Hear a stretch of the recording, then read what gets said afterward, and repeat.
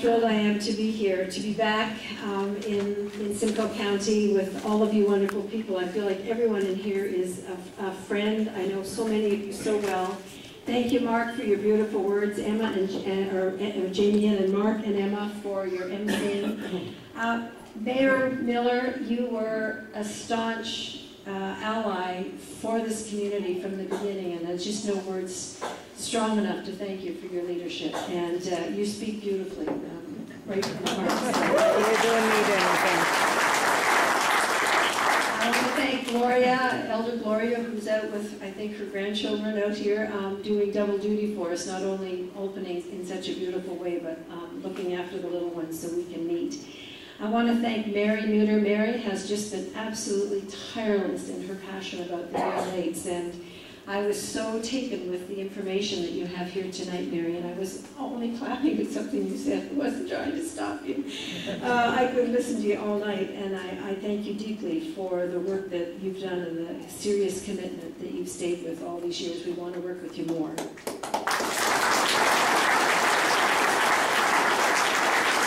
Uh, Vicky, you are a beautiful um, spiritual leader, uh, and uh, just such a pleasure to have been a, friend of yours and to have worked with you and to watch your, your growth. Um, I was so moved by you tonight. And, and the, you and the Anishinaabe move, uh, women uh, were so central to the fight in this community. It's just incredible. There's not a, thank you is the wrong word. It's just, in solidarity, miigwech um, so deeply.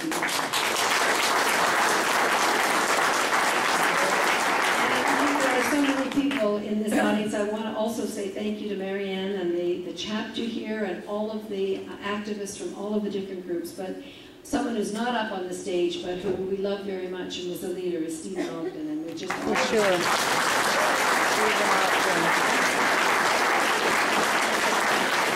Thank you, Stephen, from the bottom of our hearts. We were at the site today. I hadn't visited it since the day, the last time I was at the site was the day that the big machines moved one of the drivers waved and smiled, one flipped the bird. I guess they had different feelings about what was happening here, but that was the last time I was at the site. Um, and so it was extremely moving to be there. And we just all had a moment of silence and we just listened to the birds and, we, and the frogs and the place was just alive with life again. And, um, you know, it just, it, there's a, um, poem, poet that I love who, who, talks about there's a deep dearness down in nature. I mean, if you let nature, if you leave nature alone, it will come back. And it, was a very moving moment to be there. We're here, though, to talk about kind of the next set of fights that we've got on our hands, and, and, and not just the problems, but an approach that we think might help people um, to come together with a new, what we're calling a new narrative or a new framework for the Great Lakes. Because as Mary has said, and as we know, the Great Lakes are in terrible trouble. And I just want to remind us as a backdrop that the world's fresh water is really in terrible crisis, not just in terms of pollution and, quality, but in terms of actual quantity. Where as a human species, we're taking it from where we can access it and we're dumping it in oceans, we're growing improper food or food in improper ways in deserts and so on. And a recent study said that by 2030, the demand for water in our world is going to exceed supply by 40%. I mean, just try to imagine what we're talking about. And the amount of suffering that already exists, the amount of suffering that's going to come um, as this uh, increases. So I, I want us to realize that anybody living on or near lakes like these Great Lakes have not only a, a sacred uh, gift here, but we have a sacred responsibility to take care of these lakes because if we don't do it clearly, and Mary said it so strongly, clearly uh, governments are, at the moment are not doing it. And I just want to say total recognition to all the community groups and the elected officials and, and, and, uh, and you know, uh, uh, people in government who care and people, all the environmental groups that have done such wonderful work over the years. It's no way it no way diminishes the work that people have done, but in spite of all that good work, the lakes are dramatically declining. The lakes are in crisis. From what Mary talked about, the human, the human, uh, you know, the dredging and the dams and the, uh, playing with uh, nature in, in this way. Climate change, we know that the water lakes, uh, that the ice cover has declined over 70% in the last a few decades. We have massive pollution continued, 204 toxic pollutants in the lakes still dumping untreated or semi-treated sewage um, into the, the, the, the, lakes, bunker oil, nuclear waste from over 30 nuclear reactors on the shores, massive chemical contaminants from agribusiness because we're still using chemicals on, on our food production and that gets washed into the lakes. You heard about wetland loss, two-thirds lost in the lower Great Lakes, but apparently that's not enough for the uh, voracious developers who are coming in to want to remove the rest. Invasive species, we have 185 currently, but gov governments on both sides of the border say that there are 30 virulent species that they're watching and are worried about, but obviously not worried enough to stop the process of allowing these deep ocean uh, uh, going vessels coming in and dumping their ballast. We have oil and gas exploration. 2,200 gas wells have been drilled under Canada's portion of Lake Erie. We have uh, refineries on both the Canada and the U uh, Canadian and U.S. side now refining tar sands oil, which is the dirtiest, heaviest bitumen on Earth. Um, and uh, we were just in Sarnia, Chemical Valley, uh, a few nights ago. I met with Aamjiwnaang people who live absolutely surrounded by petrochemical petrochemical industry, and if that's not bad enough, now they're going to start refining um, tar sands oil. We have massive deposits of, uh, of natural gas uh, along Lake Erie and huge plans to, to uh, allow fracking operations and there's uh, plans to discharge fracking effluent through Niagara Falls, New York, wastewater uh, treatment plant to be discharged into the Niagara River um, and Lake Ontario. And there's been a giant copper and nickel ore deposit uh, found on the U.S. side, and governments there are allowing the exploration of that. And as Mary talked about, not only the, the, the, the man-made uh, changes to the lakes, but just general over-extraction. We know we're taking more from the lakes every day than we in, in nature are putting back. And again, another international study that was done on groundwater takings around the world found that if, they said they didn't study the Great Lakes, but if the Great Lakes are being pumped at the same rate that groundwater around the world is being pumped, the Great Lakes could be bone dry in 80 years. That was a direct quote. When anybody looks at these lakes and says they could never be gone, they should know about the once fourth and sixth largest lakes in the, in the world, the Aral Sea in the former Soviet Union and Lake Chad in, in, uh, in, in uh, Africa, which are now essentially gone. Um, I read the other day that the uh, U.S. Department of Agriculture says that the Ogallala Aquifer, that's that huge aquifer down the western spine of the United States, and the reason that they are changing the route or so far uh, today have stopped the, the, the, building of the Keystone Pipeline, that that aquifer, I quote, will be gone in our lifetimes. And there's not a case of if it's a case of how we will adapt. I don't know if people understand what that means, but we're taking these huge bodies of water and we are literally um, diverting, polluting, and, and um, extracting them to death. Now, how has it come to this? Well, partially, of course, because we deal with these issues separately, and of course, not just issue by issue, but jurisdiction by jurisdiction. We've got two national governments, eight states, two provinces, many municipalities, and so on. But I think the bigger issue is that there are dueling visions of the Great Lakes. While some see them as a precious resource, a precious uh, you know, natural resource, uh, a, a, watershed that gives life and livelihood to all of those of us who live on or near the lakes. Others see the Great Lakes as a great big dollar sign, the industrial engine of North America, and our resource to be used for our pleasure, convenience, and profit. From its earliest history of a European settlement, the story of the Great Lakes is a story of exploitation. The St. Lawrence Seaway was opened up in 1959 for the expansion of industrial production and trade, and it served economic goals almost to the exclusion of, of all others, and that's what Mary was describing um, in her presentation. Great Lakes waters were seen as a commodity to promote commercial enterprise and economic prosperity and used as a dumping ground for manufacturing industries such as steel, paper, petrochemical, and auto, at the expense of their long-term health and sustainability.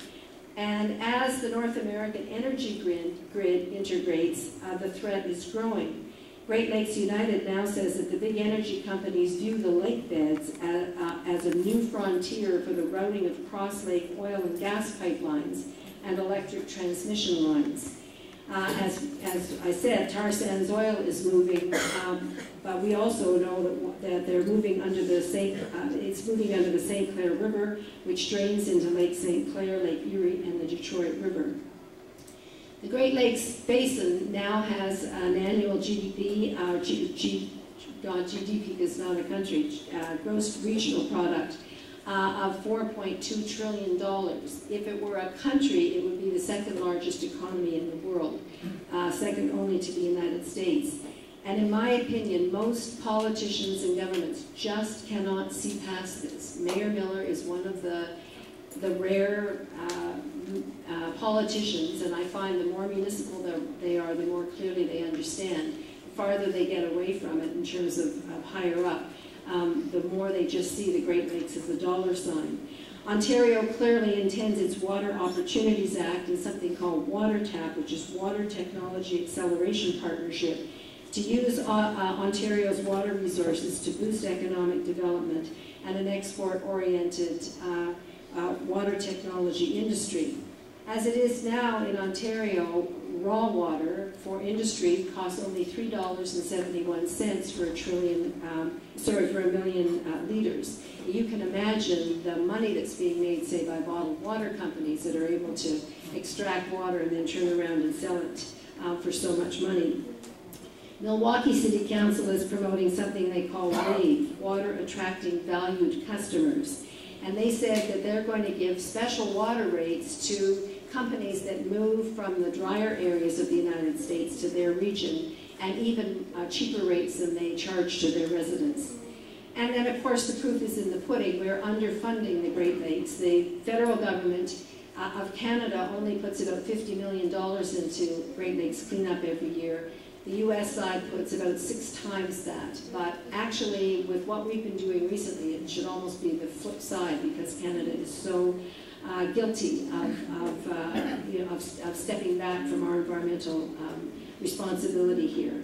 And I just, I know Mary spoke about it, but I have to underline what this Harper government is doing in its recent uh, legislation, budget bill.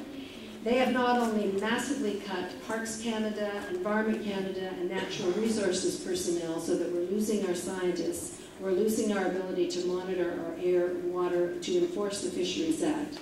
Um, not only that, but they've closed the, uh, the um, uh, lake, Experimental Lakes Project in Northern Ontario, which is where we found how phosphate harms lakes, where all sorts of important work on, uh, on uh, acid rain was done uh, that's informed uh, how we protect our lakes.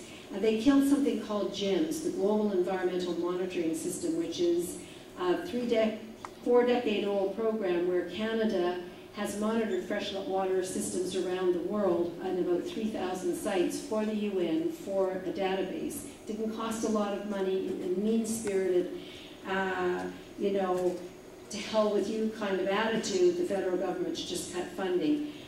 Uh, they've cut uh, change, or they're introducing huge changes to the environmental assessment process where cabinet is going to be able to say yes or no to what gets an environmental assessment, what doesn't, what gets shifted to the provinces, um, and cutting dramatically the length of time and also who is allowed to go before them and, and have a say. You really going to have to prove that you have an economic interest in pipeline going over your property or whatever. And they're gutting the Fisheries Act. Not only are they gutting the enforcement uh, and the number of, of inspectors, but they're taking habitat out of the Fisheries Act, which basically means we'll protect some fish if they're commercially viable, but not their habitat, or maybe their habitat, but they have to be proven to be commercially viable. This is a terrible, terrible threat to the Great Lakes and exactly what we should, the opposite of what we should be doing in a day and age where we know, we know so much about what, uh, what has to happen and how we have to put water and water protection at the center of our lives. So what's the solution? Well, we at the Council of Canadians are a citizen-based movement. We've been working with a number of American and First Nations groups around the lakes to think about what the people who live here and love them can do. So we asked ourselves the question, what might happen if the citizens of this area, the region, the whole region, decided to stop waiting for these politicians, senior politicians, not our good mayors, and decided to collectively protect the Great Lakes based on the very principles and practices that informed the First Nations of the First Peoples of this region, namely that the lakes must be shared equitably and protected by uh, protected uh, responsibly by all who live on them for seven generations to come. What might it look like? And here's what we're proposing. We're proposing a new narrative for the whole of the lake basin that declares the lakes to be a lived commons a common heritage that belongs to all and must be shared, carefully managed, and enjoyed by all, not a privileged few. As a commons, these waters would be considered a human right and a public resource, and local communities would have a much greater say in all decisions affecting their local watersheds, what we are, are terming a community right to say no. And I want to say very clearly to First Nations people here that we see our vision as totally compatible with um, the, the, the Water Declaration of the Chiefs of Ontario and the more collective notion of responsibility for water. We also are proposing the extension of the, the doctrine of public trust to protect the Great Lakes Basin in, in, in law rejecting the, the view that the primary function of the Great Lakes is to promote the industry, the interests of, of industry and the powerful. Public trust law would embrace the belief that the lakes must be equitably shared and carefully governed for the good of the whole community. And we look to Michigan, which has introduced, or passed, sorry, adopted, public trust law for the shorelines of all of, of Lake Michigan. Um, and we think that this uh, needs to happen in Ontario as well, that we need to understand these lakes and their shorelines are commons. It would also clarify that private interests are subordinate to community rights. We also want the Great Lakes uh, Basin Commons to be named a protected bioregion, with an understanding that while there are currently many political jurisdictions governing the basin, it is, in fact, one integrated watershed and must one day be governed in that way. As a protected bioregion, it would be understood that the Great Lakes watershed itself and species and habitat have rights beyond their usefulness to us. And this is a different way of looking at the lakes. This is the way First Nations would look at the lakes and, and nature, that they, they are sacred and they serve they, they keep us alive and we need to serve them.